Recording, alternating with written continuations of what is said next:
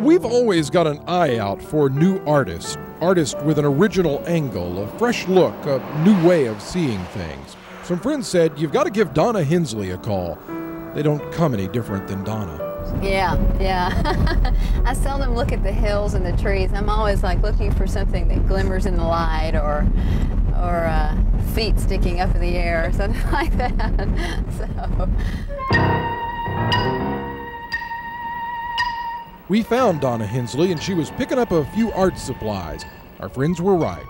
They don't come any different than Donna. This is where I get my stuff, my art supplies. That's where I get the name Roadkills. Meet Donna Hensley, the undeniably different talent behind the company she calls Roadkill Art. Dick. That's right, Roadkill Art.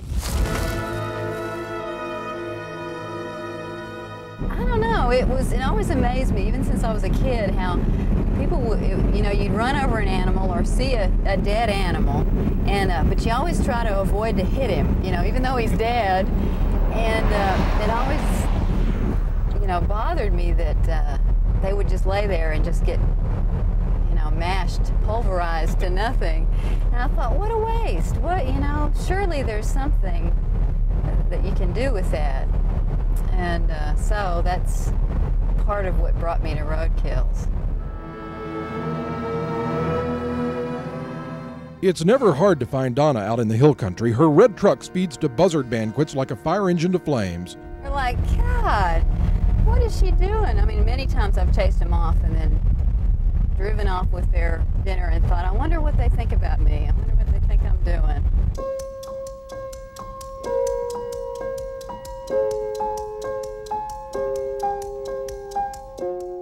Donna's artwork would tend to make anybody wonder about her, which is exactly why it's caught on in galleries from Austin to Los Angeles. Let's just say it's a little left of center. You'll never confuse her furniture with Ethan Allen.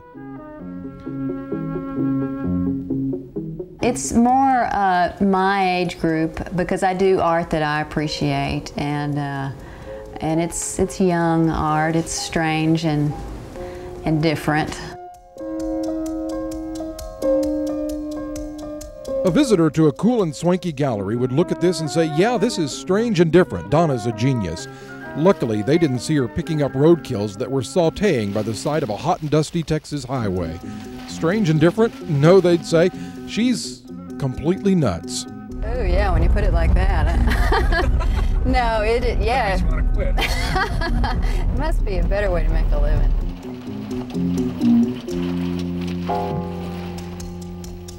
And we haven't even gotten to the part about the bats.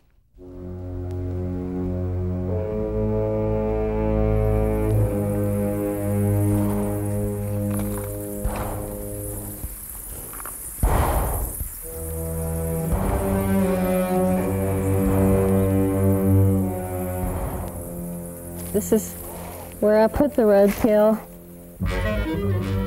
Deep in the hills is a secret cave, a cave filled with thousands of Mexican free-tail bats. A cave whose floor is a moving carpet of beetles. This is the processing plant for Donna's art supplies. Being a folk artist uh, and always looking for new, original, found or recycled material, I thought of taking uh, roadkill, animals found on the side of the highway that had been run over, and uh, taking them down there and having these little beetles be my hired help. I'm sure by now they, they recognize my form with my plastic bag and they go, oh boy, she's here, she's here, dinner.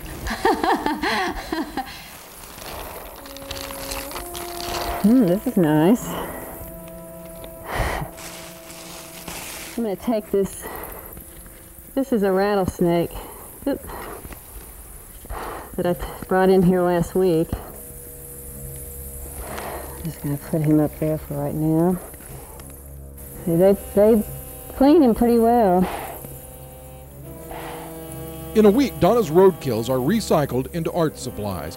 Granted, unless you're a beetle, this is no picnic. Bugs and bats and lots of bat poop everywhere, so it's not a place you'd want to relax and spend a few hours. Still, there is a specialness to making art from ecology. No plastics, no pollution. In the eeriness of the cave, Donna's art is just a step in the peaceful and natural order of things.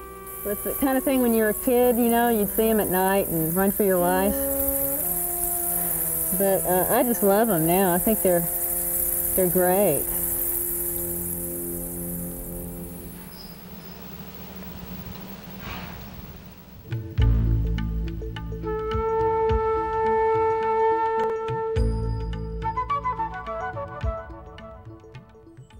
The townspeople still aren't too sure of Donna Hensley. If every village has a haunted house, they figure Donna Hensley has it.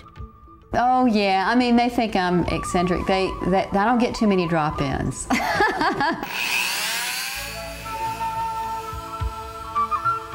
Essentially, the, the main reason, one of the main reasons I, I did it, I'm a big animal lover, and um, the idea of, of these animals just getting squashed repeatedly on the highway always made me a little uncomfortable. So this is a way of sort of resurrecting them and giving them new life. Uh, some of them ornamental little tiny bones I make jewelry out of, which these are little turtle bones, and I uh, do engravings on them and paint them, dye them, string them together. Did any of this make you squeamish to begin with? Oh yeah, I mean it, it wasn't in my nature to run out on the highway and pick up the first dead thing I found, but uh, but I saw it as definitely a good um, uh, gimmick, you know, in in the art, and it truly was one of the most original um, materials, found materials that I had I'd ever heard of. And, uh, and I was like, gee, I thought of it. So, so I started using it.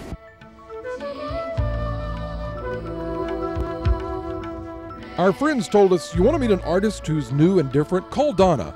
Nobody's more different than Donna. Yeah, I know. Well, makes for good conversation at parties. Thanks for hopping in and traveling with us. Now click the subscribe button for more videos like the one you just saw.